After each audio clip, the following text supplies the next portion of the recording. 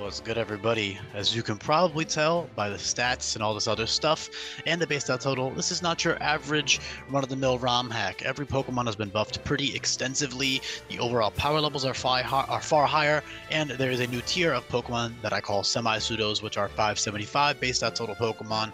Uh, base total is pretty arbitrary. Every Pokemon in this hack is incredible, with or without the base stat total of 575 or higher. It doesn't you know, stats aren't everything anymore. Abilities and moves are really important.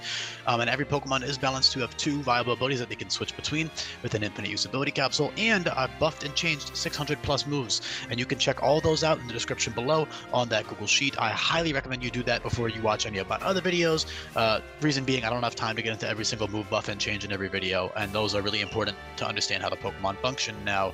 Uh, but as for Tyrantrum, there are other two-stage 575 base total Pokemon. Uh, and in vanilla games, the the fossils already don't share base stat totals, so I figured why not make the Kalos fossils uh, 575 base stat total semi-pseudos. I think it fits them really well. They're these giant you know dinosaurs uh, and they're just really fucking cool pokemon and i think that they deserve the stats um, and i think that the high stats also make a lot of sense um, pokemon with you know 140 150 attacking stats is nothing uh, extraordinary in this hack not to mention attacking stats aren't everything. Boosting abilities and moves uh, and the base power of moves and other stuff is going to make a, a, much bigger difference than the raw base stats will in the most cases. Uh, in a Tyrantrum's case the only other rock dragon type is Rampardos. Uh, Rampardos is actually much stronger than Tyrantrum its base attack is only 145 now. I can't believe I just said only but in, in comparison to Tyrantrum um, and he has less def- uh, less defense and less HP um, I made it so that Tyrantrum and Aurorus both have the same HP stat of 123, just because they're like these giant tank, uh, you know, hulking dinosaurs, and I like to base HP a lot more on size in this hack. Um, but as for Rampardos, it is much stronger because of the ability Hustle and also Headstrong, which prevents recoil, letting it use higher base power moves with, uh, you know, without having drawbacks. While Tyrantrum is is uh, is using Strong Jaw, which only boosts coverage moves except for Jagged Fangs. Coming off a 151 base attack, though, those are not a laughing matter, especially Jagged Fangs, which uh, becomes 128 base power, stab move, zero drawbacks. Uh, Stone Edge is 120 base power overall. It's 80 base power, but it always crits, and it's 90% accurate. So that's your, and that's late in the game. That's very late on. Uh, you have Rock Climb, which is 110 base power and deals recoil, same as Dragon Hammer. Uh, you have Head Smash, which is 150 base power, uh, works like close combat, and it also deals recoil. While Rock Wrecker um, is even is, is really strong. Same power as Head Smash, but uh, it drops your attack stat by two instead, which is really cool, especially with Intimidate. Uh, speaking of, yes, you have two great abilities strong jaw and intimidate perfectly fitting abilities for tyrantrum absolutely beautiful in terms of like the flavor of what he is i mean he's this gigantic t-rex um, hence why i gave him that huge 151 base attack similar to something like golurk you know just because they're these giant imposing pokemon and I think that's really cool. Um, again, nothing broken, overpowered at all. I mean, his his Spadef is still pretty bad, but uh, with that giant HP set, it does help a lot. Um, especially if you're like an assault vest or certain boss fights, you can tank special hits pretty well. And your speed stat is relatively lackluster. That's another thing that Rampardos has over Tan- Tyrantrum. Uh, so essentially Rampardos with Hustle was much stronger. It has a very good Hustle move pool. It has lots of priority moves that won't miss with Hustle and all of other good stuff that you can check out in that video, or I would honestly just recommend checking out the Google Sheet and looking at them on there. Uh, but yeah, Tyrantrum is uh, stronger, sorry, weaker than Rampardos overall, uh, and it's also slower, but it's much bulkier. Uh, so that's the main pro of Tyrantrum. Not to mention, in terms of raw at base attack, yes, it is stronger than Rampardos if you are running Headstrong, for example. Uh, yeah, you'll be dealing a little bit more damage, but you're slower and you're taking recoil, so it's not ideal. Although you can use Shell Bell, which heals by 20% now, so you can use Shell Bell with Dragon Hammer and Rock Climb and take 0% recoil, as well as Play Rough and Wild Charge, um, which all deal 20% recoil, so those are all great with Shell Bell. And then uh, moves like Head Smash will deal only 10% recoil overall with um, with a shell bell. So that's awesome. But yeah, Fang wise, you have Jagged Fangs for stab upon evolution, and then you have Crunch and Psychic Fangs, which also become 128 base power coverage moves, and then you have Fire Fang, Ice Fang, Thunder Fang, and Poison Fang, which all become 112 base power coverage moves.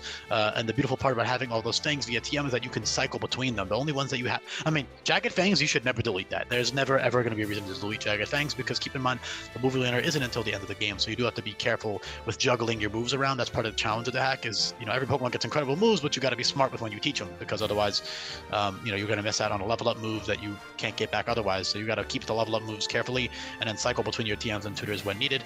And of course, the moves you run will depend on your EVs, sorry, your uh, your IVs, your nature, your other teammates, the point in the game you're at, and all types of other stuff. Your personal preferences. You know, you can run a great, uh, an incredible utility set on Tyrantrum. Like I said, every Pokemon is designed to do several different things, not just one thing.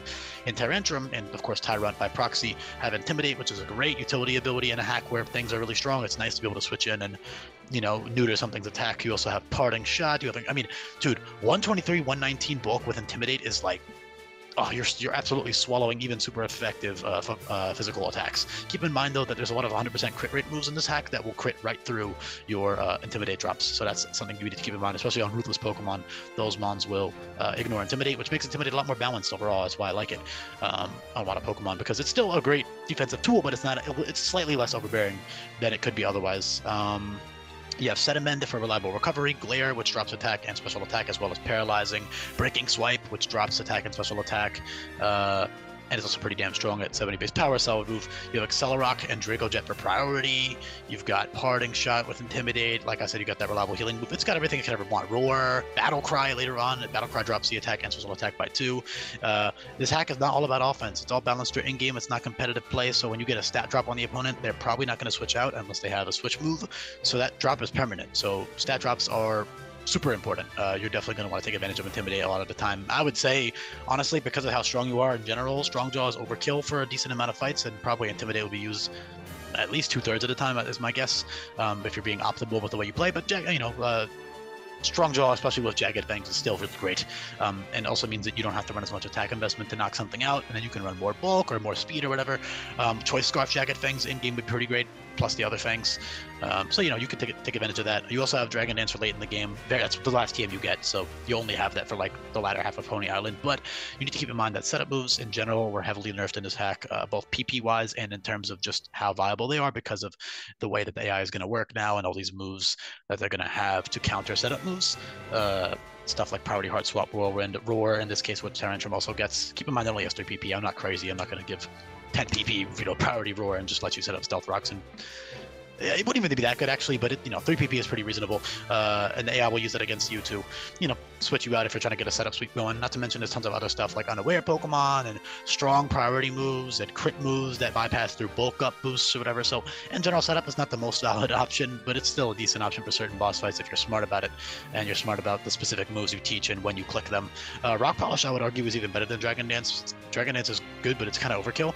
Rock Polish gives you plus two speed and plus one accuracy, so you can use inaccurate moves later game like Stone Edge, Power Whip, and Megaton Kick, um, and not miss those. So that's pretty great.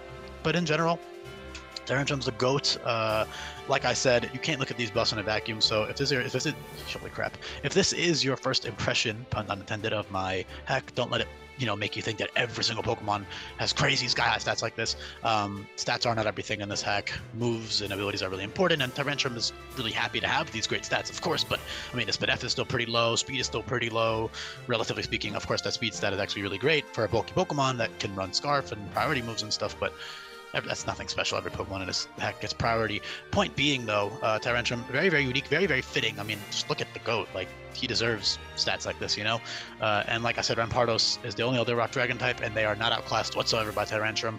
Um, they both do different things. Tyrantrum is much bulkier and has much more utility, while Rampardos is just much more Unga Bunga, you know, with higher speed and uh, effectively like 220 plus base attack with Hustle. So, yeah.